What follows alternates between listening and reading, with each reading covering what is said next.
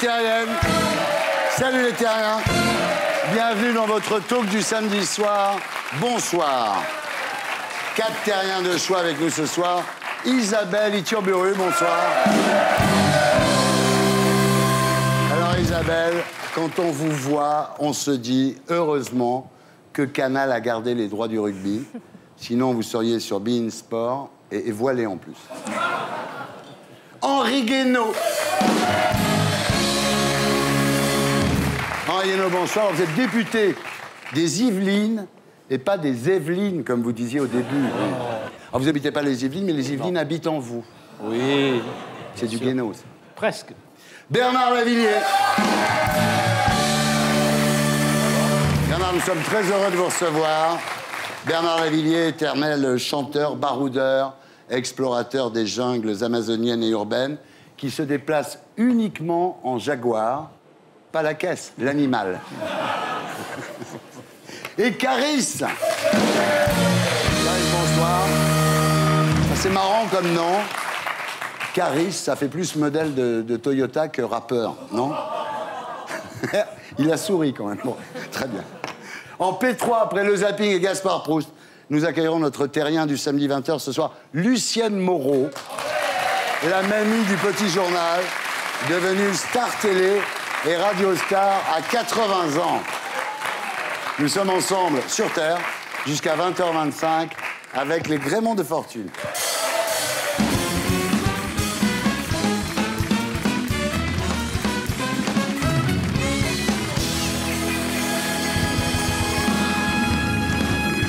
Alors Bernard Lavillier, bonsoir. Bonsoir. Ça fait une paye qu'on s'est pas vu. Ah oui. Quoi de neuf? Combien de tatouages? Combien de nouvelles drogues? Combien de bagarres au couteau dans des bouches de Bogota? Deux, simplement. Deux, c'est tout. Alors, vous portez votre euh, légendaire pantalon en cuir. Il n'y a, plus que vous et Pierre Sled. hein, ça. Ah, Justement, je vais rester le dernier. Vous faites toujours de la muscu hein? Toujours de la boxe, oui. Ah, de la boxe. Vous avez commencé à 13 ans, la boxe. 13 ans, oui. Ouais. Et alors, euh, vous avez été marié avec Lisa Layan. hein, Ouais. était- Là, vous en avez fait de la, de la muscu, là. C'était une femme extraordinaire. Euh, on voit que ce côté-là, hein. Ouais. C'était une Oui. intellectuelle, et c'était c'était quelqu'un d'assez étonnant. Mais quand on est avec une femme comme ça, euh, dans un lit, en- ça doit faire tout drôle dans les muscles. Je sais pas. Non, non, au contraire, c'est très agréable. On s'y fait très bien. Ah oui, oui. Mais quand elle vous prend dans ses bras, c'est. Je sais pas. Je sais pas ce que vous imaginez pour Là, l'instant. j'imagine plein de trucs, vous me Ouais, connaissez. Alors aujourd'hui encore, faites travailler vos bras. Vous chantez avec un micro de 25 kilos, il paraît. Alors, il y a une légende, il y a une légende, Bernard Lavillier, évidemment. D'abord, naissance sous le nom de Bernard Houlion, en 1946 à Saint-Étienne. Votre père bosse à la manufacture d'armes. Votre mère est instite. Vous grandissez dans une maison pleine de livres. Et très jeune, vous lisez des, des poètes, quoi. Effectivement, des poèmes euh, peut-être un peu supérieurs à mon âge au niveau de la compréhension. Baudelaire, Ouais. Prévert, c'était plus accessible. Oui. Et puis beaucoup d'autres, René Char, tous ces gens-là. Ouais. Alors, euh, c'est vrai qu'à cette époque, faute euh, d'accès à la richesse, euh, la génération de nos parents avait accès à, la- à une certaine culture, d'une certaine façon. C'est vrai. Ouais. Mais c'était les revendications des communistes. euh, euh, mon père était communiste en 36, c'est-à-dire accès à la, au loisir et à la culture. Ouais. Ça s'appelait comme ça. En réalité, on faisait du sport et il y avait quand même des compagnies théâtrales qui se montaient. On allait voir Jean Dasté et puis Roger Planchon qui nous jouait Brecht dans les usines. Enfin, c'était tout un mouvement culturel qui a un peu disparu sans doute de nos jours. Alors, vous faites un peu de lycée, Mais pas beaucoup. un an de maison de redressement. Ouais. Pourquoi? J'étais un peu turbulent. Ah ouais. Vous aviez frappé quelqu'un? Ouais, plusieurs peut-être. mais c'était dans un but purement lucratif. Alors, vous voulez devenir boxeur Oui. ou comédien, et à 16 ans, vous faites un deal avec votre père. En fait, vous entrez en, en usine Ouais. comme euh, ouvrier P3. A working class hero is something to be. A working class hero is something to be. Bien. John Lennon. Alors là, vous dites, euh, on transformait l'acier, on se plaignait pas, on était fiers. Ah oui, je suis resté trois ans dans cette usine avec 7000 ouvriers, ce qu'on ne peut plus imaginer aujourd'hui. Alors à l'époque, vous avez une carte CGT, hein Ben, mon père était responsable de la CGT Ouais. de l'usine, donc j'avais une carte à la CGT, mais je n'étais pas communiste Ouais. du tout. Pas étonnant que vous ayez soutenu euh, les travailleurs de, de Florange, euh, Bernard. Ah non, c'est normal. Moi, j'y crois parce que ces gens-là ont une force incroyable. Et puis, euh, ouais, j'y crois. Je suis pas venu à l'enterrement. Je pense que c'est possible. De toute façon, ils m'ont expliqué que c'était possible. Alors, euh, si ça ne l'est pas, c'est que le gouvernement fait pas trop son boulot et que Mittal est encore plus puissant qu'on imaginait. Voilà. Aujourd'hui, c'est fini, quoi. Oui, c'est un peu râpé. Alors, Hollande, vous avez toujours refusé de, de le rencontrer. Oui. Si ça se trouve, il est sympa, c'est juste en chômage qu'il est nul. Oui, oui, oui. Il a un problème, Hollande. Il dirait un vieux proverbe stéphanois qui dit Dis jamais du mal des riches, on ne sait pas ce qui peut arriver. Alors, à 67 ans, euh, est-ce que vous levez le poing aussi facilement qu'avant ou c'est un peu plus douloureux? Ah, vous voulez dire à cause de l'arthrose? Oui, Non, non, je lève toujours le poing assez facilement. toujours. Alors, c'est à cette époque, donc à l'usine, que vous commencez à chanter vos chansons à vos camarades, vous organisez de, de petits concerts et vous partez au, au Brésil. Oui. Voilà, pour devenir docker au départ. C'est le début de l'aventure. Bernard.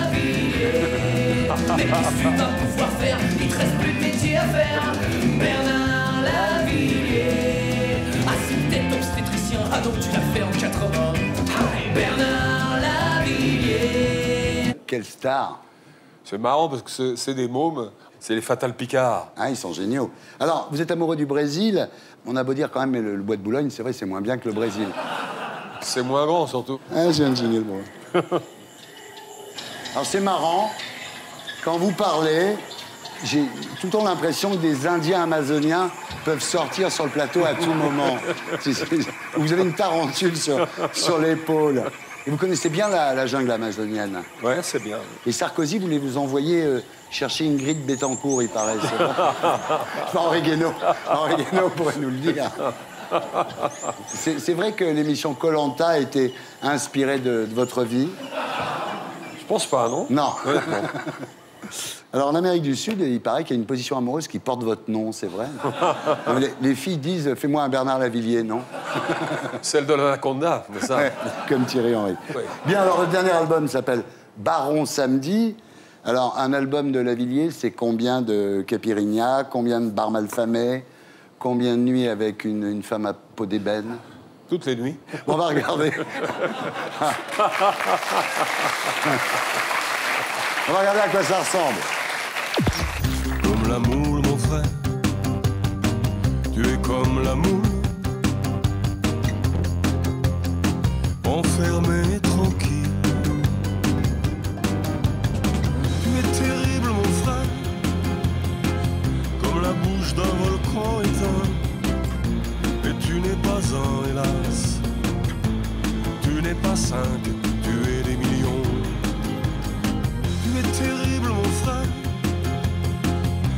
la bouche d'un volcan éteint. Et tu n'es pas un, hélas, tu n'es pas sain. Voilà Bernard Révillier, Scorpion, extrait de son nouvel album Baron Samedi. Bernard Révillier qui sera à l'Olympia du 25 mars au 6 avril et en tournée dans toute la France. Il y a un morceau que j'adore où vous parlez de ces mecs qui se font virer à 50 ans. Ah, ça, c'est euh, les mains C'est terrible ça. Quelque chose qui me touche beaucoup, moi. Celui qui se fait virer à 50 ans et on lui envoie un SMS pour lui dire que c'est, que c'est fini et qu'il ne Ouais. peut pas se recaser de toute façon. Ouais. Et qu'il a encore des mômes, euh, peut-être qu'il essaie Et de l'envoyer à maison- l'université. Et la maison à payer. Ouais, c'est tout. Enfin, je veux dire, c'est beaucoup de choses pour un être humain. Ouais. Bernard Lavillier. Mais qu'est-ce que tu vas pouvoir faire? Il te reste plus de métier à faire. Isabelle Iturburu, bonsoir.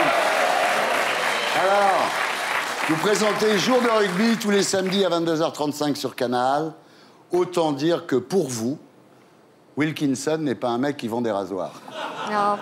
Alors ça marche très bien pour vous. Hein. D'après une étude du groupe Canal, 38% des hommes qui regardent Jour de rugby le samedi soir ne savent absolument pas de quel sport parle cette émission. Ce qui veut dire quand même que vous avez un certain attrait, il faut bien reconnaître. hein. Ah, au fait, pourquoi il y a tellement de U dans votre nom là? Euh, faut demander à mon père, peut-être. Ah ouais, c'est bizarre tous ces U quand même, non? C'est très basque, hein. Ouais, vous êtes basque. Je suis née dans le Béarn, donc je précise parce que ça vache. Voilà, il y a les, les Béarnais Ouais. sont fâchés quand je dis que je suis basque. Donc... Ah, d'accord. Mais elles sont comme ça, les Basques? Oui, il y en a des comme ça Il aussi. y en a des hein. comme ça. Alors, vous êtes né à Pau, donc terre de rugby, évidemment, le 24 février 1983. Oui. Bah, C'était votre anniversaire. hein. Ouais. Vous avez fait quoi? Euh, pas grand-chose parce que je travaillais, mais euh, ah, j'ai eu droit à un petit restaurant. euh, Avec votre romantique. euh, mari, là vous Ouais. C'était sympa quand même. Oui. il a apprécié. Alors, vos parents tenaient une épicerie au Foirail, hein et vous avez été Miss Pau Béarn en 2001. Et vous avez de la chance parce qu'on n'a pas trouvé d'image. Non, mais- Et c'est dommage. En revanche, dommage. en revanche, Ah. on a trouvé des images de votre participation à la Nouvelle Star. Et c'est quelque chose.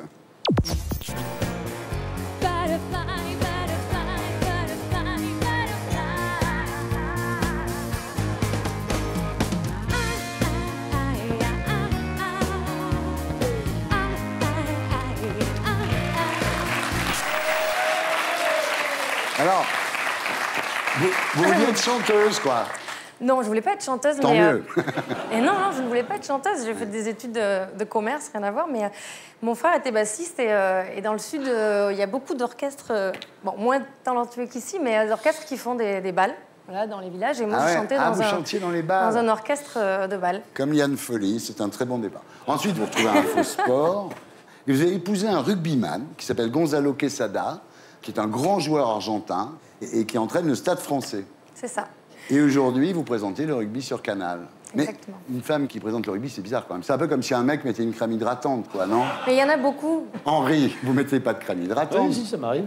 Non Henri Guénaud met des crèmes hydratantes. Henri Guénaud se fait épiler. Tu vois, la, la droite n'est plus... ah non.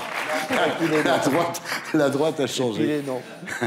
Bien. Alors Isabelle, on va faire un, un- un quiz. Dieu du stade. Ah.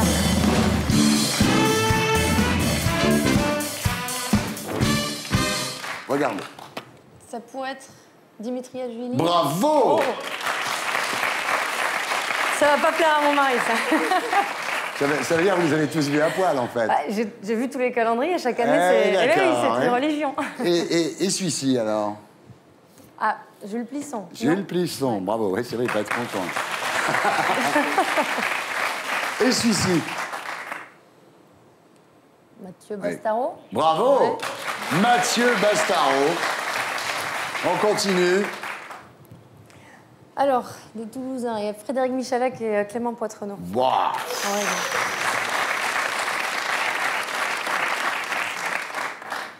C'est un piège. Oui, Il joue pas au rugby. c'est le piège. C'est Karabatic. Bravo Alors, je félicite Canal+. Ouais. Voilà, on est, on est cultivés. hein. de... Bon, euh, le prochain.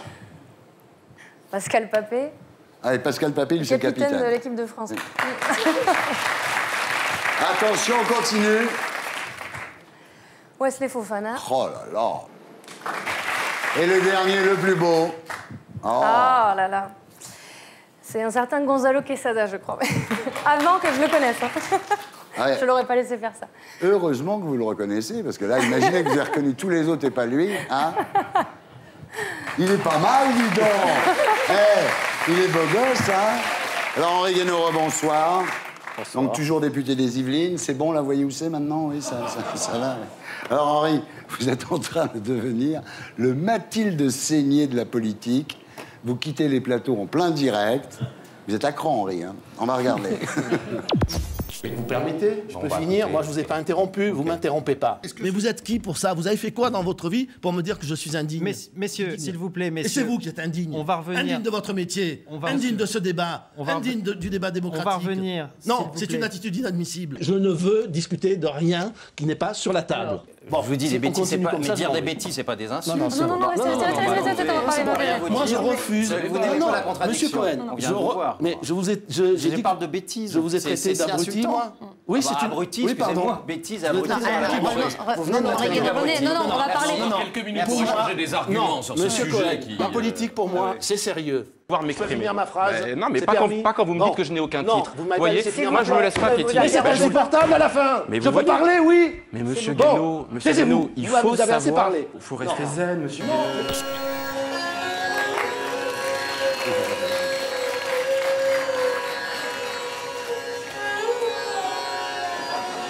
J'arrive pas à croire que c'est lui que j'ai vu dans la vidéo, en fait. Il est hardcore. Non, une remarque. Oui. Ce petit film mélange beaucoup de choses. Oui. Il mélange deux épisodes qui ont eu lieu il y a deux ans et un épisode qui vient d'avoir lieu. Ça s'appelle un amalgame. Voilà, Voilà. exactement ce que je voulais vous entendre dire. Ça s'appelle un amalgame. Et entre les deux, je ne me suis jamais Non. énervé. Mais ceci étant, je comprends, parce que Romero et Lapix veulent vous faire passer pour un homophobe, alors vous êtes, juste, ça, vous êtes juste contre le mariage homosexuel, ce qui est un droit encore, j'imagine, en France aujourd'hui. On peut être contre, non Je, je suppose, oui. Je sais mais pas. Ce qui m'a, ce qui m'a gêné dans cette, dans cette émission, euh, c'est cette volonté absolue de faire, euh, de mettre en présent, de mettre en scène l'affrontement de, de l'homosexuel contre l'hétérosexuel. C'est-à-dire que la religion, la couleur de peau, euh, le, le penchant sexuel deviennent des catégories politiques. Ouais.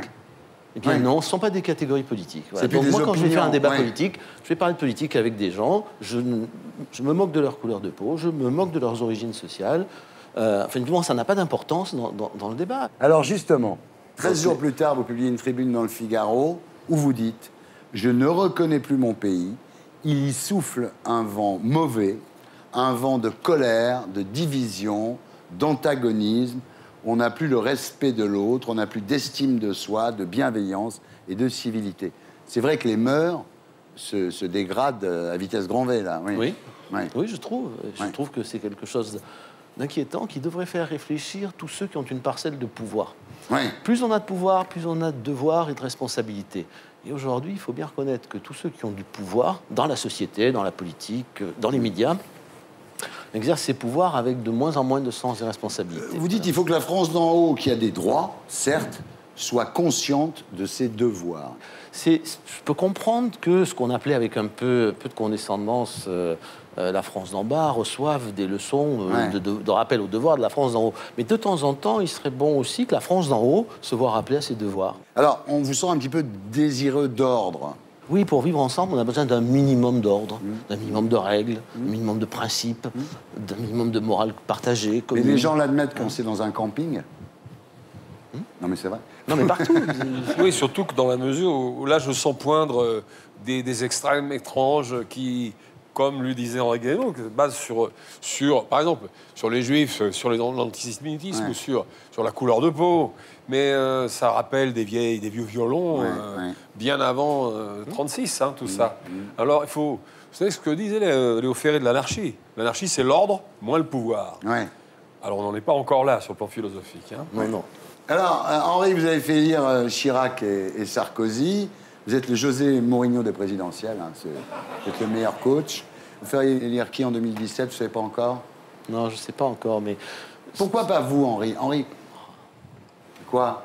Vous êtes un mec sérieux, bien sous tout rapport. Non, mais Franchement, pas- vous n'êtes pas pire que les autres, moi je vous le dis. Oui. hein, non, mais- oui, ça. non, non, mais je rigole Vous pas. n'avez peut-être pas tort, mais. Henri Guélo 2017. Non, mais pour... pour que ça ne soit pas ridicule, il faut que des circonstances soient réunies. Aujourd'hui, Ouais. elles ne sont pas réunies. Voilà, la, la réponse est simple. Si Nicolas Sarkozy est candidat, je le soutiendrai. Ah oui, Sarkozy. Non, mais c'est pas, c'est pas, J'avais oublié Sarkozy, on regarde, on regarde, on regarde. Si vous voulez qu'un jour on prenne trois heures pour, pour prendre euh, une à une les décisions prises par Nicolas Sarkozy, euh, on, on peut le faire. Sachez au moins que s'il n'avait pas été là, il n'y aurait plus de démocratie en France, plus de démocratie en Europe et plus de démocratie dans le monde parce que Nicolas Sarkozy a eu à affronter la pire crise depuis l'après-guerre. La pire crise. Et voilà. Et je peux- vous voyez, c'est- intéressant là aussi. Ce qui compte, c'est la suite, c'est la suite de la phrase. Ouais. Si effectivement il n'avait pas été là, le système bancaire se serait effondré français, mais aussi Oui, il a- européen parce que il c'est a arrangé lui. le truc avec Voilà. Gordon Brown en une nuit. Oui, Bah avec oui, c'est Gordon. Brown, avec les, il a réuni les chefs d'État et de gouvernement de la zone. Donc tout ça ne s'était. Mmh. jamais fait, c'était im- impossible. Euh, c'est lui qui a suscité la création du G20. Mmh. Et sans cette action, le système bancaire mondial se serait effondré. C'est juste un fait Non, historique. c'est- vrai que bon, vous, vous êtes une solution. C'est vrai que Sarkozy, en même temps, il va passer sa vie à accompagner sa femme dans les concerts. À, à un moment, à un moment, ça va, ça va le gaver. quoi. Alors, est-ce que Nicolas Sarkozy pourrait pas nous dépanner pendant cinq ans, quoi? Caris, rebonsoir. Alors, Caris, vous avez 31 ans, vous êtes rappeur. vous avez pas mal galéré avant de, percer, mais depuis la sortie de Or Noir en octobre, là c'est le jackpot, hein, et vous revenez avec Or Noir partout.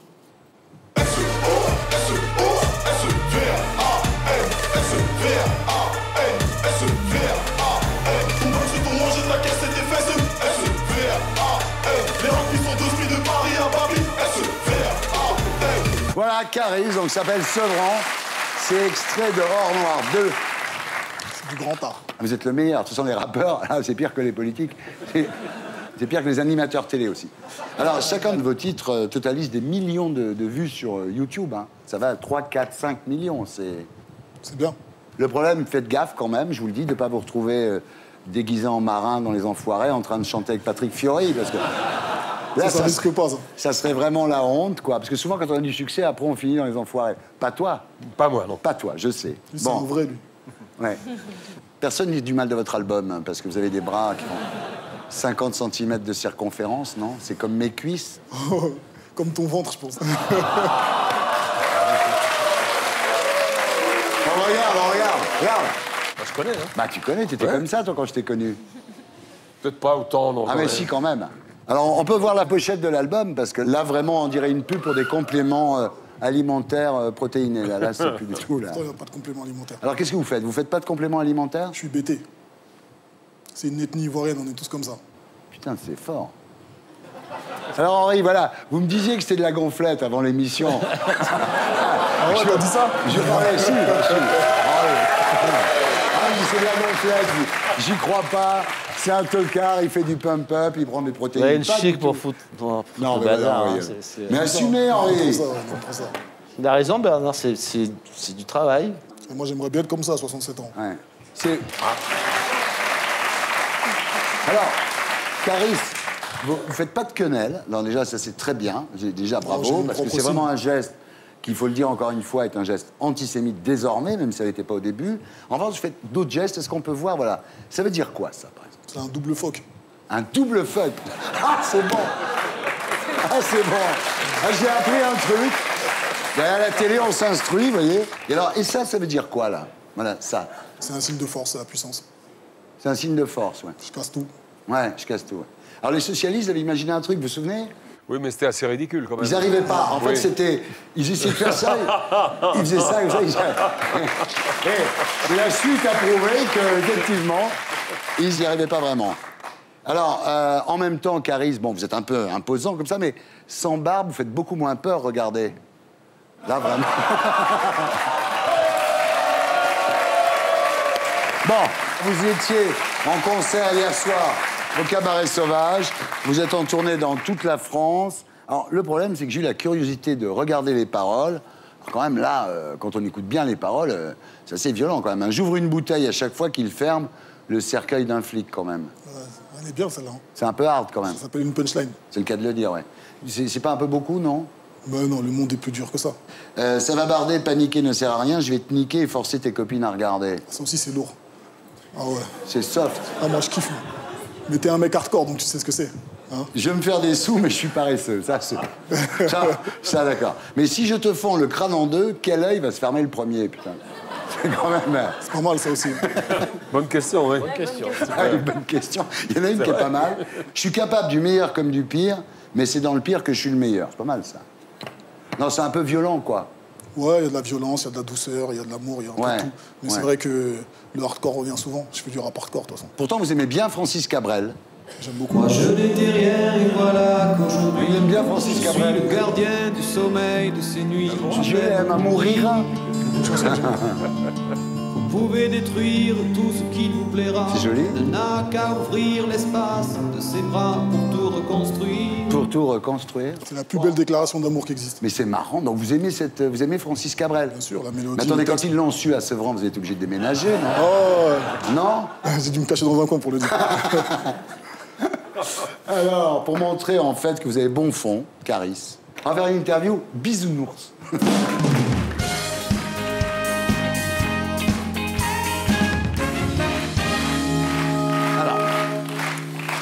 la dernière fois où vous avez pleuré Je crois la première fois que je suis allé à l'école, je crois.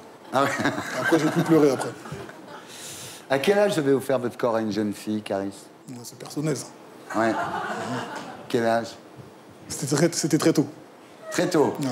13 ans. J'étais déjà musclé comme ça. 13 ans? vous avez vu Belle et Sébastien? Non. Ah, vous devriez, ça vous plairait. Il est beau, le chien. Pour vous, c'est quoi la soirée idéale à deux?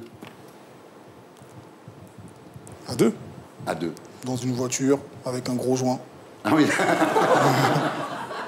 Euh, quelle est la chose la plus romantique que vous ayez faite dans votre vie? Je veux faire des fleurs à ma mère. Ah, très bien. Il aime sa mère. Comme Henri. Vous vous entendez mieux avec les gens de quel signe? Astrologique? Je crois pas, ça. Il n'y a rien à faire. Vous aimez les petits chatons sur Internet Pas sur Internet, mais en vrai, ouais. En vrai, vous aimez- vous aimez bien les petits chats Ouais, Tu Il aime bien Francis Cabrel et les petits chats. Alors, vous l'appellerez comment, votre premier bébé? Suleiman, peut-être. Dans les bras de qui vous sentez-vous le mieux? Dans les bras de Morphée.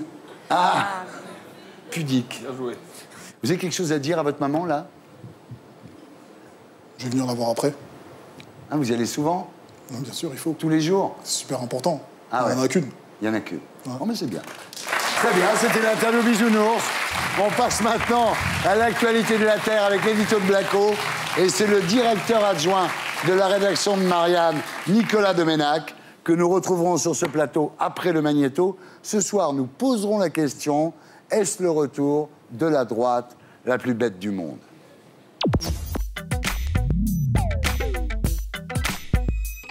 Hollande et son gouvernement battent des records d'impopularité. Du coup, la droite se sent pousser des ailes. N'importe quel gouvernement qui serait aux commandes aujourd'hui en France ferait mieux que le gouvernement actuel. L'opposition s'y voit déjà, pourtant, près de 60% des Français estiment que si elle était au pouvoir, la droite ne ferait pas mieux que la gauche. Alors pourquoi l'UMP inspire si peu confiance aux Français?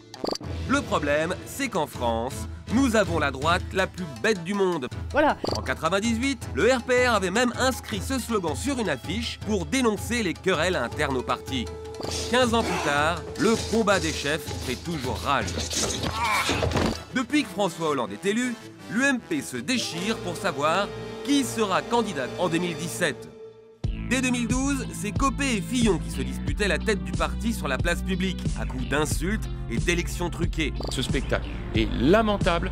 De son côté, Sarkozy a très vite renié ses promesses d'abandonner la politique. Depuis des mois, il multiplie les apparitions publiques pour alimenter le feuilleton de son retour. Là où la mer est passée, elle, elle revient. 70% des sympathisants de droite voudraient que Sarkozy puisse prendre sa revanche sur Hollande en 2017 sans avoir à se présenter aux primaires de l'UMP. Ce n'est pas du goût de Juppé, Le Maire et Bertrand qui, au contraire, veulent organiser les primaires pour pouvoir s'y présenter. Et la politique dans tout ça? Eh bien, difficile de croire à la sincérité des leaders de l'UMP. Début février, Copé a refusé de défiler à la manif pour tous. Mais quand 100 000 personnes ont manifesté, d'un coup, il est devenu le champion de la lutte contre la théorie du genre. Officiellement, l'UMP a pourtant un programme. Sauf que lors du Conseil national qui l'a approuvé, François Barouin a voté contre, Alain Juppé l'a jugé trop libéral, tandis qu'Henri Guénaud a écrit à Copé que ce programme était à désespérer. Moi, je suis assez, euh, ébranlé, je dois dire, par la manière euh, dont ma propre famille politique fonctionne. Alors bien sûr, ça ne va pas fort pour la gauche, mais la droite la plus bête du monde met tellement de cœur à s'entre-déchirer que ça laisse un petit espoir à la gauche pour 2017. Voilà, c'était l'édito de Blacko, mise en image de Julien Grapp. Bravo. Alors, Nicolas Doménac, bonsoir. Vous êtes directeur adjoint de la rédaction de Marianne. On vous retrouve dans la nouvelle édition, tous les midis sur Canal, face à Éric Zemmour sur iTélé, donc dans Ça se dispute. Bienvenue parmi nous. Voilà. Alors, est-ce le retour de la droite la plus bête du monde, qui est une expression, il faut le dire, de Guy Mollet, pour à César Forcé de constater que malgré le boulevard que lui offrent Hollande et Hérault, la droite ne profite pas du tout de l'aubaine? Alors, la plaie de l'élection à la présidence de l'UMP, on n'a pas le sentiment qu'elle soit vraiment refermée Henri Guénaud. Non, je croyais que l'UMP était en voie de guérison, mais j'ai l'impression qu'elle a encore euh, longue convalescence euh, devant elle. Euh, et enfin, pour répondre plus directement à la, à la question, oui, il y a un risque. Oui, il y a un risque que la droite la plus bête du monde revienne. On a déjà la gauche la plus bête du monde. Et, et dans cette concurrence. Et le centre le plus Non, mais dans cette monde. concurrence effrénée, euh, oui, il y a un risque. Il y a un risque. Parce que nous vivons dans une période de, de- de crise, de tension, de colère. On, on en parlait tout à l'heure, où la tentation de tous, euh, c'est de faire la politique du slogan. Hein, Ouais. Plus une idée simpliste. euh, et, et- et- et mieux ça La marche. plus comme dirait Caris, Donc- donc, ouais. on dev- à ce jeu-là, on devient très vite bête, à droite comme à gauche. Voilà. Oui, alors c'est vrai qu'il n'y a pas de stratégie, il n'y a pas de programme. Copé, il nous fait les pains au chocolat et tout ça poil. Mais en fait, on ne sait pas ce que la droite propose sur la dette, sur la croissance, sur le chômage, non, Nicolas? Et pourquoi elle est totalement inaudible? C'est parce qu'elle croit qu'elle n'a pas perdu l'élection présidentielle. Elle croit que c'est- Hollande a gagné par effraction. Elle le dit, qu'il est illégitime. Oui, Et c'est d'ailleurs, Nicolas Sarkozy, concours de circonstances. Ouais, Nicolas Sarkozy le dit, euh, j'ai perdu très peu. Hein Ouais. Voilà, il y aurait quelques jours de plus. ouais. Voilà, donc au fond, il empêche que la droite se refonde, qu'elle se repense, qu'elle propose quelque chose. Et on a eu ce lamentable épisode que vous aviez évoqué tout à l'heure de la triche à la tête de l'UMP entre Copé hein, et Fillon. Et c'est- on a deux ridicules qui se renforcent et s'annulent réciproquement. Du coup, eh ben, c'est effectivement tragique parce que on a, c'est vrai, des branquignoles au pouvoir et puis des lamentables en opposition. Moi, je vous une formule. La majorité est toujours composée d'imbéciles, la minorité aussi, mais ils sont moins nombreux. Ce qui nous manque aujourd'hui, c'est- ce sont les générations de la résistance, ce sont euh, des gens qui ont, auxquels l'histoire a forgé ce, ce- ce caractère, euh, ce, ce sens de l'État, de la nation. Voilà, il nous manque peut-être le général Mais de non, Gaulle. mais attendez, c'est- nous, mais c'est pas la peine de pleurer. Le général de Gaulle, il est mort. Vous votez, vous non Non, je vote pas, non. Non, Et si on vous est- votiez, une vous génération, on- ça nous parle pas trop, en fait, tout ça. Ouais. on n'a pas l'impression qu'il parle c'est de pas nous. votre Il parle pas de nous. mais- Il parle ouais. de général de Gaulle, on sait même pas qui c'est. Ah bah oui, ça. Alors Sarkozy, Sarkozy, Sarkozy. Alors à droite, il y a 70% des gens qui veulent son retour, mais les Français n'en veulent pas à 54%. C'est compliqué quand même, non? Mais c'est toujours compliqué. On essaie de sauver la Non, droite, mais- là, vous voyez Non, mais c'est- c'est compliqué. C'est con. D'abord, il ne s'agit pas de sauver la droite, mais si possible de sauver la France. Oui, ça serait voilà, mieux ça encore, serait oui, mieux, oui. voilà. Mais Ouais. Sarkozy, il a été président de la République. Bon, c'est toujours difficile quand on a été président de la République de revenir. C'est difficile quand on est descendu de l'Olympe d'y remonter. Alors, ce qui, ce qui peut plomber Sarko, quand même, c'est les affaires en cours, hein, quand même. hein. Il y a quand même des affaires. Là, pour l'instant, la plupart des affaires n'ont pas de Si contenu. je peux me donc- permettre, moi je ne crois Oui. pas du tout. Ce qu'il Ah bon plombe, c'est qu'il a fait des promesses, lui aussi Sarkozy. Il a promis de revaloriser le travail et les travailleurs. Ah bah les travailleurs, à la fin, hein, c'est pas eux qu'on a revalorisé, c'est des plus riches. Et puis il a promis la sécurité, il n'y a pas eu la sécurité. Et donc, comme il croit qu'il n'a pas perdu, ou fait, il veut faire croire, eh ben on revient pas sur là-dessus. Là-dessus, on remet pas ça en cause. Donc, dire. alors, on continue. On, voit qui peut sauver la droite, hein, d'accord cherchons bien, hein. Copé, alors Copé, euh, 75% des Français ont une mauvaise opinion de lui. Est-ce que vous faites partie de ces 75% Bah, écoutez, moi, c'est un drame parce que je l'ai connu il y a plus de 30 ans. Le jeune Copé, euh, jeune, humaniste, généreux. Avec des euh, cheveux. Avec des cheveux aussi, qui jouait du, il jouait du piano debout. on va dire. Tout Ah, ça, putain, pas- oui. ça lui arrive encore. hein. mais je veux dire, ce qu'il est devenu, il s'est décopé lui-même, si j'ose dire. La Ouais. caricature. D'accord, c'est bon. Hein, la Copé, vous croyez que Copé Ouais, peut sauver la France euh, Aujourd'hui, non. Aujourd'hui, non. Je m'en fous. Il s'en fout. Vous Non, il s'en fout pas du tout. Non. Vous, vous pensez que Copé peut sauver la France? Non. Non. Carrie, je te demande pas. Moi, pire que lui, je m'en bats les Même couilles. s'en bat les couilles. On continue donc Copé. On voit bien que le leader de l'opposition ne recueille sur ce plateau aucun Il n'y a assentiment. pas de leader de l'opposition a aujourd'hui. voilà. C'est ça la vérité. problème parce qu'un parti bonapartiste sans Bonaparte, hein, c'est Ouais. euh, sans tête. hein. Ouais. Il court comme ça. euh, Ouais, le canard de Robert Lamour. Oui, exactement, à l'étranger. le canard. Parce que ça tombe pas du ciel. Parce Le canard qui court. Mais parce que ça tombe pas du ciel. Ça, ça, voilà, ça, à un moment, ça s'impose avec la force de l'évidence. Pour l'instant, c'est le vide et personne ne s'impose avec la force de Alors l'évidence. Donc, il y a pas Fillon, bon bah. Fillon, Il cramé. euh, quand il voit la votation en Suisse, il dit c'est super. Puis après on lui dit mais fais gaffe, les Français pourront plus aller bosser en Suisse. Il dit merde mais c'est pas Il super. s'est cramé, il, s'est pré- il était l'homme modéré qui Ouais. tout d'un coup s'est rapproché du Front National. Il était de l'homme qui disait je ne communiquerai pas sur ma vie privée parce que c'est horrible et Sarkozy l'a fait, etc. Et voilà qui se montre la avec son dans le château, château. avec sa vaisselle, sa femme, ses enfants, etc. Et on ne sait plus où il est. Si vous voulez, le problème de ces hommes-là, c'est qu'ils ils- ce sont des artistes de variété un peu ratés. Ouais. Donc, moi, j'ai joué avec le frère de Fillon, qui est un excellent pianiste, Ah en ouais, revanche. c'est. Ah, c'est drôle. Mais je trouve que c'est un très mauvais violoniste, François Villon. Le problème est là. Ah, c'est drôle. Donc, on, on a du mal, parce qu'après, il y a tous les autres. Il y a Xavier Bertrand, Bruno Le Maire, Laurent Vauquier. Je dis, Henri, euh, vous n'êtes pas le pire. hein. On s'est sorti comme présentation. Vous pourriez dire le meilleur, ça serait, ça serait plus gentil. Et puis, il faut avoir de l'humilité, parce que tout- chez la plupart de ceux que vous avez cités, il y a une arrogance. Toujours, le pouvoir nous, nous- doit nous revenir comme par de droit divin. Souvenez-vous de ce qu'avait fait Chirac à un moment, quand tout allait très mal.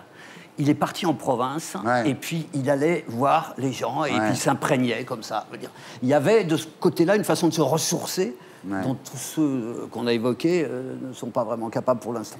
Alors le FN, ce qui est très marrant avec le Front National, c'est qu'au départ, Sarkozy avait siphonné euh, les voix du, du Front National. Aujourd'hui, c'est le Front National qui siphonne les voix de l'UMP, non? Oui, il siphonne aussi les voix du Parti Socialiste. Oui, aussi, oui. C'est la, crise de tout le monde. Est-ce qu'on peut dire qu'il y a une typartisation de l'électorat de droite? C'est-à-dire, il va de plus en plus vers la, vers la droite?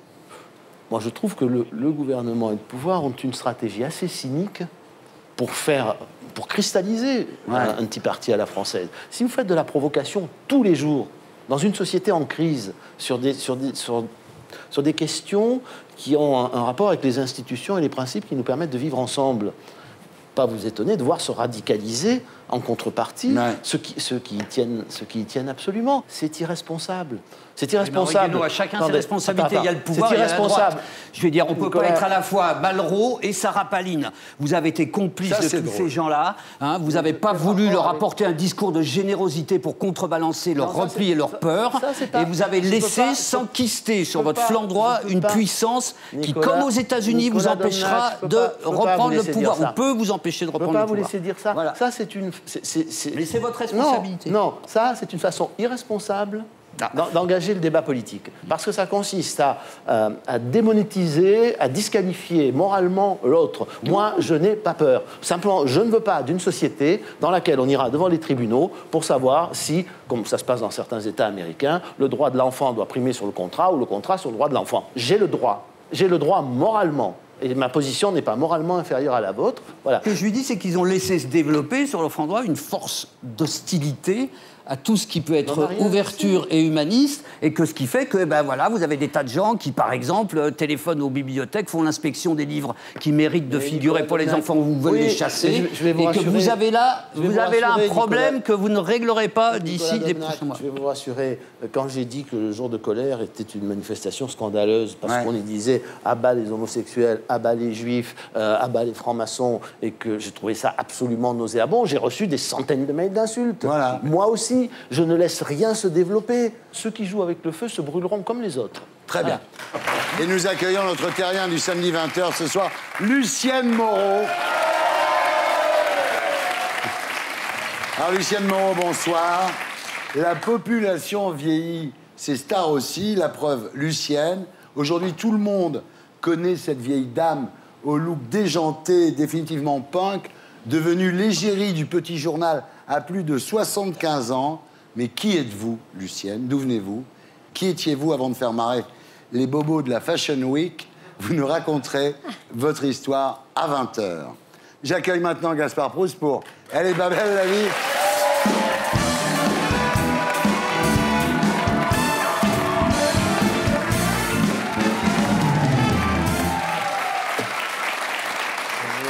Salut Gaspard.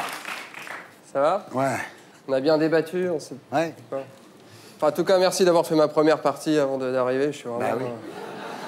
Parce que je vous suis, hein. moi j'ai suivi ce que vous avez fait. Enfin, c'est pas parce que je suis payé pour dire des conneries que je devrais m'abstenir d'écouter celles qu'on débite avant mon arrivée. J'arbitre, j'analyse, je distribue les bons points et, et je crois que c'est c'est la première fois qu'un plateau me touche autant. Parce que je sens un plateau affectif. hein. On reçoit des écorchés vifs, Lavillier, euh, Iturburu, euh, Guénaud. hein. Euh, Lavillier, quand même, c'est extraordinaire. C'est le seul poète musicien français qui, qui est capable de penser au haut fourneau de Florange et d'en faire une bossa nova. Quoi. Hein. C'est vrai Bon, en revanche, Caris, moi, je ne savais pas qui vous étiez. Et après, j'ai réfléchi, je me suis dit, bon, généralement, quand je connais pas l'invité, 9 fois sur 10, il fait du rap. Et euh, voilà. Mais de toute façon, c'est pas les sujets de la semaine. Les sujets de la semaine, c'est quoi? C'est Manif à Nantes. Ah oui. Ouais, quelle tristesse. Quelle... Mais où va le monde? Des punks qui s'opposent à la construction d'un aéroport, quoi. Mais Qu'est-ce que c'est que ces punks pétris de colère agricole? Enfin, je. Ah non, non, nous, on veut pas que les avions ils passent sur notre potager, hein, parce qu'on a planté de la ganja, des brocolis. Si on met une piste au milieu, comment qu'on va faire pour cultiver tout ça? Bah, Ça va être pratique, hein, ça va faire du bruit. Hein. C'est les punks de province, c'est vraiment Madame Michu avec une crête d'Iroquois, quoi. C'est un truc. euh, En tout cas, cette histoire, ça prouve les ravages de la théorie du genre sur les gauchistes. Et Guénon ne contredira pas. Ah bah c'est, c'est. Quel homme censé s'opposerait à l'arrivée massive d'hôtesses de l'air sur un territoire où la débauche se résume à sodomiser une chèvre lorsque le voisin a le dos tourné? Enfin, peu d'hédonisme. En tout cas, cette affaire a fait boule de neige. Il y a Duflo maintenant qui soutient les manifestants à Nantes. Bon, qu'un verre se mobilise contre un aéroport, c'est, c'est logique. hein. L'avion, ça symbolise quand même le XXe siècle. Je veux dire, à l'heure de la piste cyclable, quelle hérésie hein. On n'a pas- Hein Et toute la classe politique est sortie avec cette phrase de chevènement un ministre, ça ferme sa gueule ou ça démissionne. Mais enfin, Duflo, est-ce vraiment un ministre?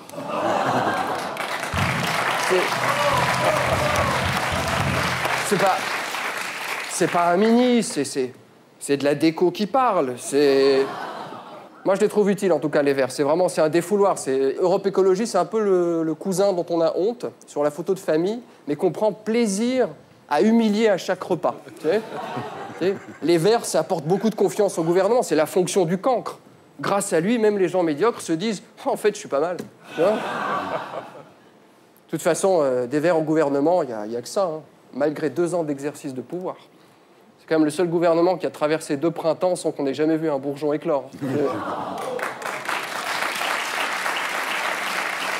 Sinon, politique made in France, cette semaine, euh, Montebourg a débattu avec Marine Le Pen. Alors, comme prévu, il lui a ressorti euh, les casseroles sur le papa, tout ça. Bon, comme elle lui colle au cul, on voit que c'est pas du Tefal. hein. Enfin, Montebourg a prétendu que Le Pen père avait fait l'apologie de la Gestapo. C'est vrai que c'est pas bien. C'est pas bien. Mais au moins, on ne pourra pas lui reprocher un certain manque de courage. quoi.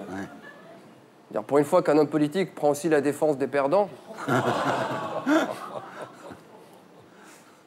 Non, mais c'est vrai. Si, si vous n'allez que vers ceux qui vous ressemblent, qu'avez-vous accompli de si extraordinaire, comme disait euh, Jésus, tu sais, notre Mohamed sans allergie alimentaire. Voilà, c'est.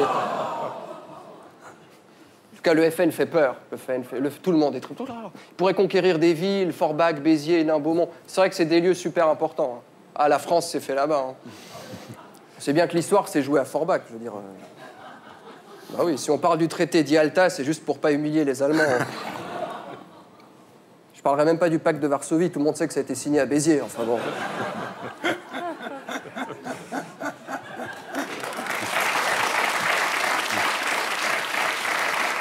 Vous en avez parlé un peu, les sondages, Hollande est à 16%. 16%. Bon, il tombera pas plus bas. Alors, comme disait mon dentiste, si on va plus profond, on touche la pomme d'Adam. Ukraine, un peu d'international, oui. Euh, je suis un peu déçu des événements là-bas. hein. Non, mais moi, je n'arrive pas à comprendre ce qu'ils veulent les Ukrainiens. Je comprends pas ce peuple. L'Europe leur propose 600 millions. La Russie propose 15 milliards et eux, ils veulent aller en Europe. Là, on tient un scoop. Là, on vient de découvrir le premier peuple qui serait susceptible de nager vers Lampedusa dans le but de rejoindre les côtes tunisiennes.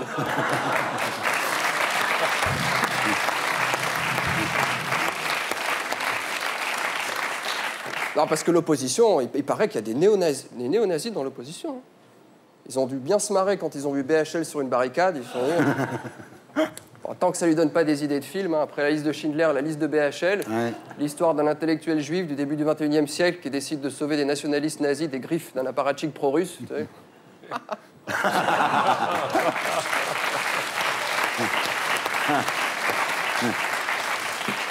Remaniement. Quatre noms reviennent en boucle. Bartolone, Aubry, Fabius, Valls. Le point commun de tous ces premiers ministrables, ils sont lions. Ah Comme Hollande. Ah C'est passionnant, hein Algérie. Alors, à 78 ans, Bouteflika va postuler pour un quatrième mandat. Comme quoi, ce monde n'a pas fini d'humilier Giscard. hein. Enfin, bonne nouvelle, parce qu'il faut quand même terminer sur toujours positive, bien entendu. Ah bah, tout bien sûr. L'Allemagne a explosé les chiffres du commerce extérieur. Au même moment, François Hollande décide de faire entrer cinq résistants au Panthéon. Ah ouais On se venge comme on peut. Alors, pas belle la vie C'était Gaspard Proust. Je vous retrouverai ici la semaine prochaine. Et d'ici là, demain, à 15h sur Canal et sur On passe maintenant à notre terrien du samedi 20h.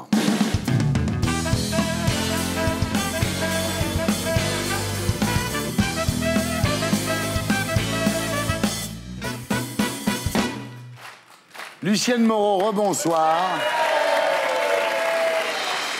Alors, vous êtes né le 17 février 1933 à Rénazé, en Mayenne. Vos parents étaient paysans. Et chez les Moreau, comme chez les Ingalls, tous les enfants mettent la main à la pâte pour faire tourner la ferme. Oui, tout à fait. Vous dites, on était pauvres, mais heureux. Ah oui, ça, on était heureux. Alors, en 1939, vous avez 6 ans et c'est la guerre.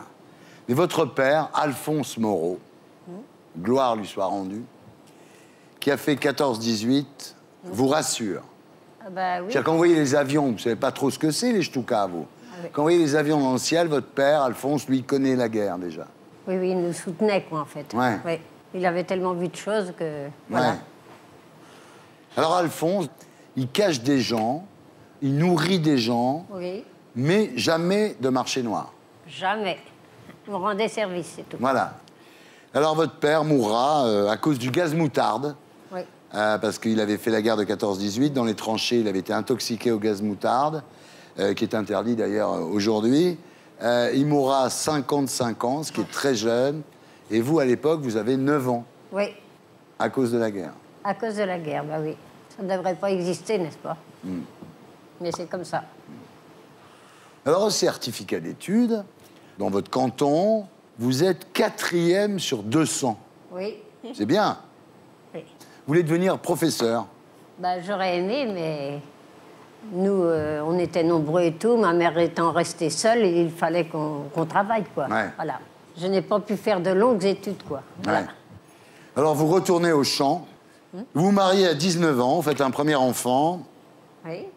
Et au deuxième enfant, vous réalisez que ces histoires de ferme, ça ne va pas vous rapporter beaucoup d'argent. Hein? C'est vrai.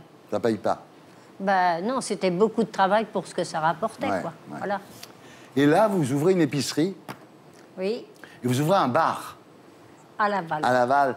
Mais dites-moi, euh, vous faites 1m52, vous Quelque chose comme ça, oui. hein. 52 ou 53. Disons 53 pour vous faire plaisir, Lucienne. Mais quand il y- avait de la, de la baston dans le bar, là, vous faisiez comment alors? Ah, bah, moi, j'étais énergique. Hein. Ah ouais. euh, fallait faire la part des choses. Hein. Ouais. Celui-là, il y avait trop, il fallait qu'il aille. Ah, Vous, vous sortiez les gens Tout à fait. avec votre mètre 52, quoi. Oui, oui. La grandeur ne veut pas dire grand-chose. Alors ensuite, vous remariez avec un, un Tunisien. oui. Vous partez vous installer à Lille. Vous travaillez dans le textile. Mhm. Mais là, les entreprises ferment. C'est-à-dire, c'est- Ben oui, déjà, à cette époque-là, ça commençait à. ça commençait Ouais. à aller mal. Là. Voilà.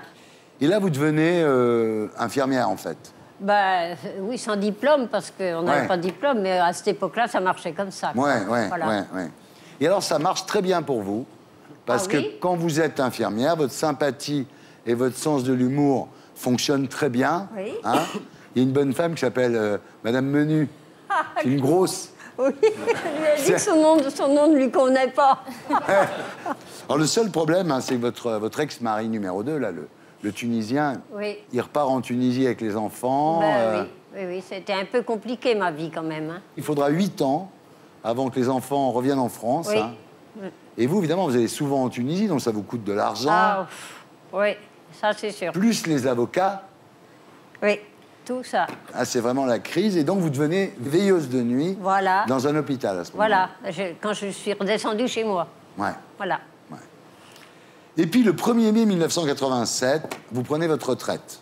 Oui, Et là, vous découvrez que vous avez 800 euros par mois. ça va pas chercher loin, quoi. C'est un sale moment, ça. hein Ouais. Qu'est-ce qu'on fait avec 800 euros par mois? Rien.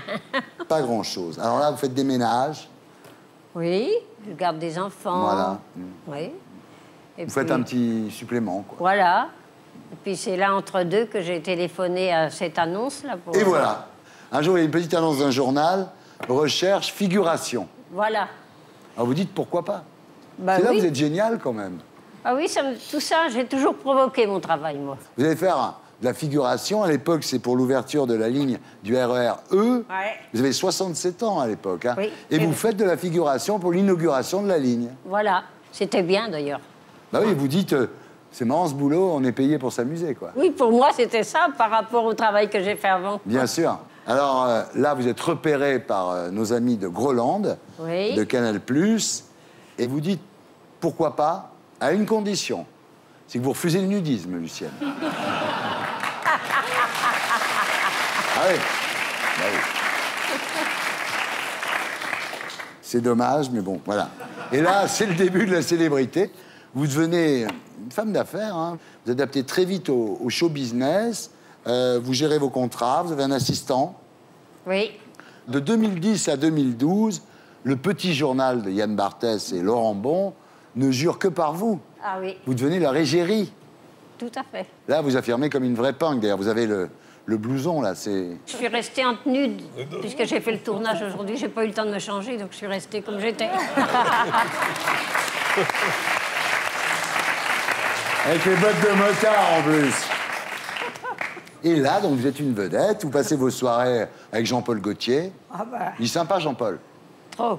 Ah oui, vraiment. Il est sympa. Chouette. Ouais. Il vous a pas encore fait défiler, mais. Bah, ça va venir, ça va Ouais, venir. je pense.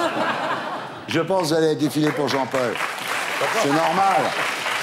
Après Naomi Campbell. Et puis, vous allez au Festival de Cannes aussi. Ah oui, ça c'était vraiment là super, hein Ouais, On rencontre des choses que je n'aurais jamais vues autrement, quoi. bien sûr. Vous avez monté les marches? Oui, oui, oui, bien sûr. Oui, oui. Vous avez fait des soirées à Cannes un peu chaudes à- Oui, une, oui, principalement une, oui. Ah oui. Avec de l'alcool, des pétards et de la cocaïne, Lucienne Non? Non. J'ai pas cherché la cocaïne, mais c'était une belle soirée en tout Ah cas. oui, d'accord. Alors, vous faites aussi la Vogue Fashion Night, déguisée en Lagerfeld. Alors, quand vous voyez Lisa Razou, vous dites, celui-là, j'en ferais bien mon 4 heures. Hein. Je peux lui présenter, hein, si elle veut. Ah, vous le connaissez Oui, oui. Ah, Il faut lui présenter, bah oui. Ah oui, c'est vrai, c'est un basque. Vous le connaissez pas, Lisa Razou? Un peu. Ça peut s'arranger, Lucienne. Vous êtes dans le bon endroit ici. On regarde.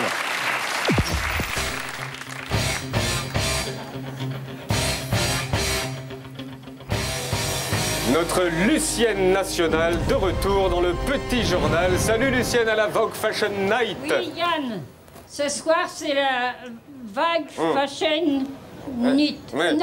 ok, bon. Allez hop Lucienne. Champagne, star, mannequin ou encore PDG de Dior, vous allez tout voir dans le Lucienne Live Report à la Vogue Fashion Night. Oh, mais quel look d'enfer Mais c'est Carla, Carla Gerfeld Là, vous avez une place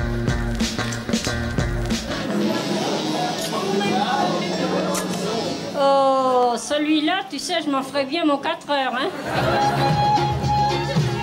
T'es trop grande. Je suis obligée de prendre une échelle, t'es trop grande. C'est un peu drôle, vos, vos histoires, là. Quelles histoires? C'est un peu moche, quoi, tout ça.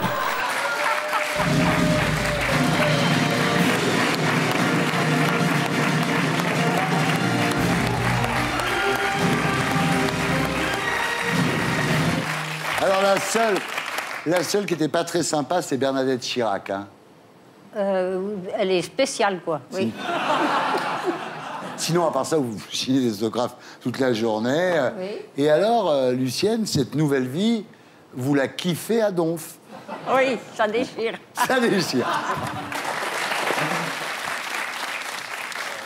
Et là, à 81 ans, vous attaquez une nouvelle carrière radio, un courrier du cœur euh, très chaud, hein, très très chaud, sur Virgin Radio. Et la nuit, vous faites la fête. hein. Ça, vous couchez tard? Un peu. Ouais. Vous faites la teuf toute la nuit. Alors vous avez une phrase que j'adore. Vous dites La vie est belle quand on sait l'employer.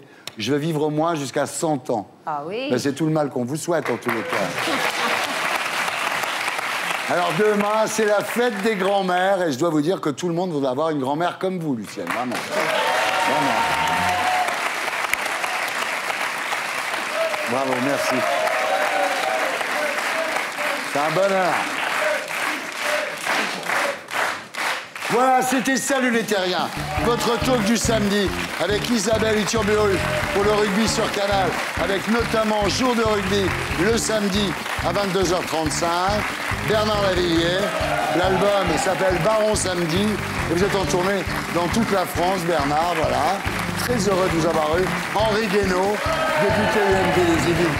Merci, Caris, sorti de Hors Noir partout le 3 mars, en tournée dans toute la France. Merci de votre présence. Nicolas Doménac de Canal+, de iTélé et de Marianne. Lucienne Moreau. Merci, Lucienne. Merci à tous ceux qui m'ont aidé à faire cette émission. Je vous laisse avec Roland.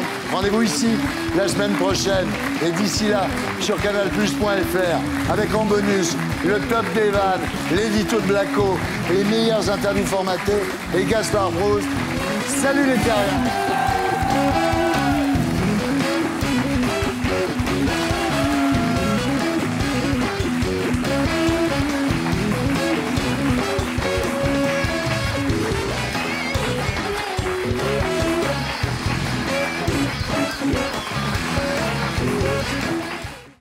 pour être sûr de ne rien rater de Inarditube, abonnez-vous et mettez un pouce bleu.